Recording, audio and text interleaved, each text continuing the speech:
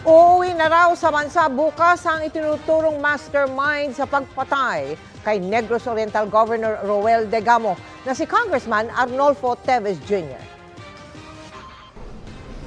Binigay na sa akin kanina from a very reliable source. Uwi raw si Teves bukas.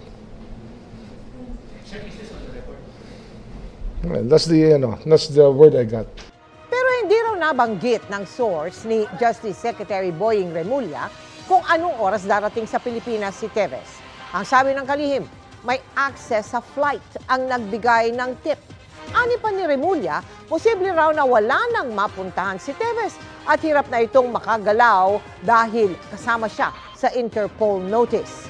Nakaalerto naman daw ang mga otoridad para siguruhin ang kanyang kaligtasan pag-uwi sa bansa. Bukas din daw inaasahang isasampa na ang reklamong murder, frustrated murder at attempted murder laban kay Teves. Hindi natutulog ang mga balita. Kaya para sa pinakasariwang balita, mag-subscribe kayo sa aming YouTube channel.